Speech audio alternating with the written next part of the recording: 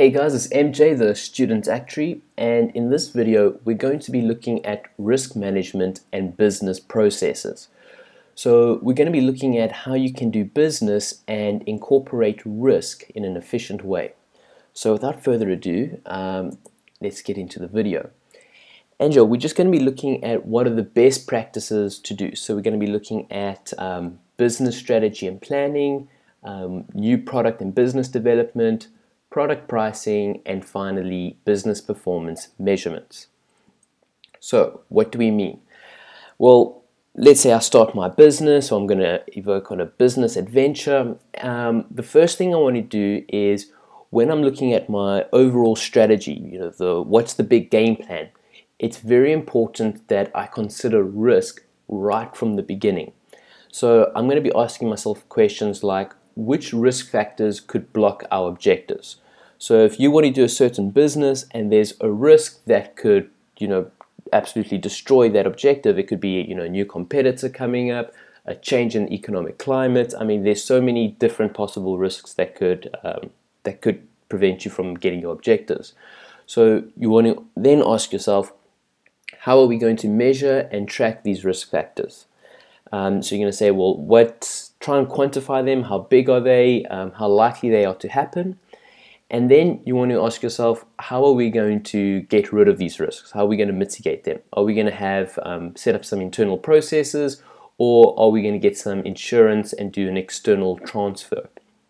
And you can see I'm trying to keep this very high level um, so that this can be applied to any business, uh, any business venture at all, whether it be a financial business, um, an industrial business, uh, a service business, whatever. All these businesses will have risk, and th this is how you should deal with your risk. Um, you also want to ask what level of risk performance should corporate management expect? So, the boss, what type of risk is he looking from his sales force or his workers? How much risk must they take in order to generate profits? And then finally, with regards to the strategy, you need to know who is responsible for managing and measuring risks involved. Is it the CEO or is it a dedicated position that we spoke about called the Chief Risk Officer? So, who is ultimately responsible for ensuring that uh, risk is considered in the strategy? Now, once we've done our overall strategy, um, we're now going to develop some products and we need to consider risk when developing a new uh, product.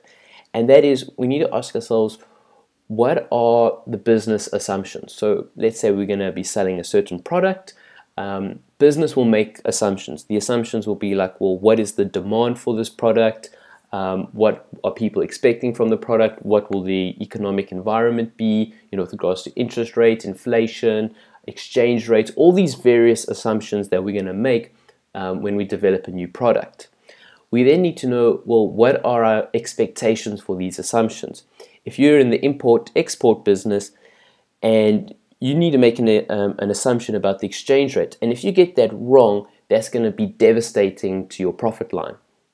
So you also want to consider what are the trigger points. What are so if it's the exchange rate at what point do we raise the alarm and say, wow, the exchange rate is now unfavorable to us? Or at one point you say the exchange rate is very favorable to us. So you want to have these trigger points on each of these assumptions. And then you want to know what will your reaction be. So if the exchange rate goes very much unfavorable to you, you might want to just stop business completely and just you know take your losses as they are instead of getting yourself in more trouble. Or if it's the other way around, you might increase um, production and you know chase even larger profit. And remember, this can apply to everything. If it's a if it's an, an annuity uh, that product that you're offering as an insurance business, um, interest rates those are going to have a massive effect on uh, how much profit you make and stuff like that. And this has caused big issues in the British um, annuity business. So it's important to consider what your assumptions are, what you expect these assumptions to be, what are the, the trigger points, like what are the extreme values of these assumptions, and how you want to react to them. Then, what you want to do, and insurance companies do this very well, they even have something called the risk premium, but this needs to be applied to all businesses, whether it's selling cars or you know, plumbing or whatever it is, you need to price risk into your product. So you need to consider what are the expected losses. And this could be for a plumber. I mean, plumber going to do a job, uh, there could be a traffic jam, which means he's late and he misses out on that client or something like that. So you need to factor in your expected losses due to risks. You also need to calculate the cost of the economic capital that you're going to be using to uh, create like a risk absorption. This is more for financial services and insurance, but I guess you could also have it for other businesses as well. And then what you also want to include in the cost of your product is the the cost of transferring the risk. You know, if you're buying insurance or something like that, you want to take that risk into consideration. And you want to price your product in such a way that you avoid adverse selection. Um, and I mean, a very raw example is let's say we're coming to insurance and we're selling life insurance and we don't calculate all the risk involved in our product. And what I mean by that is we charge the same price for life insurance to everyone.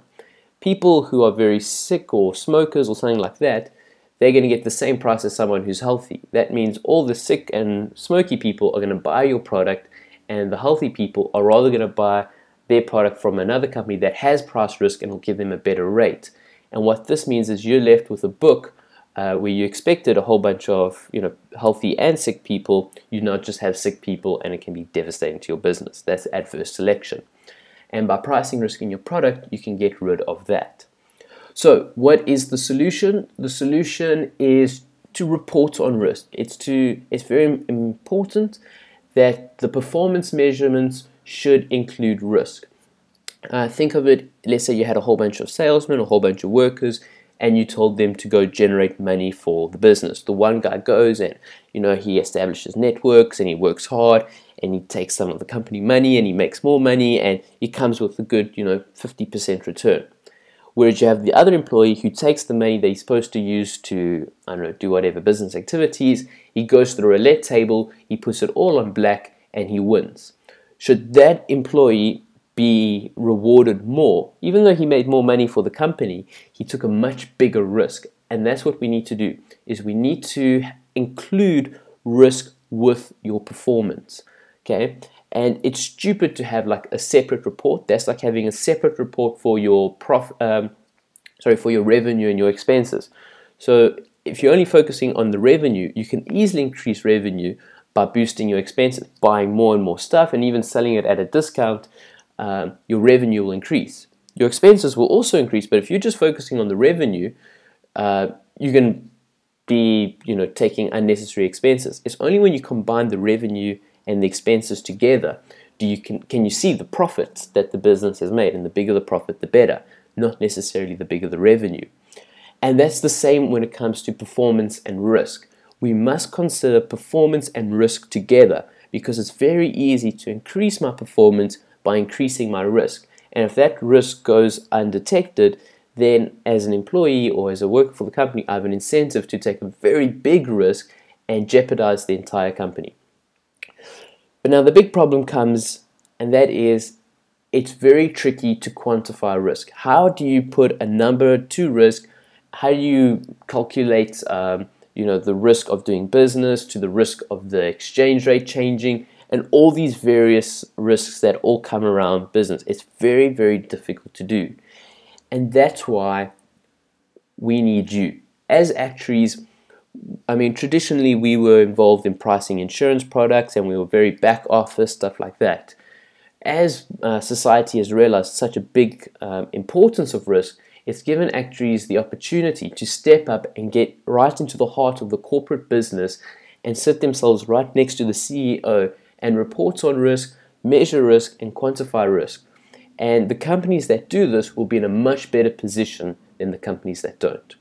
So yeah, thanks guys for watching. I hope you enjoyed this video on risk management and business processes. Cheers.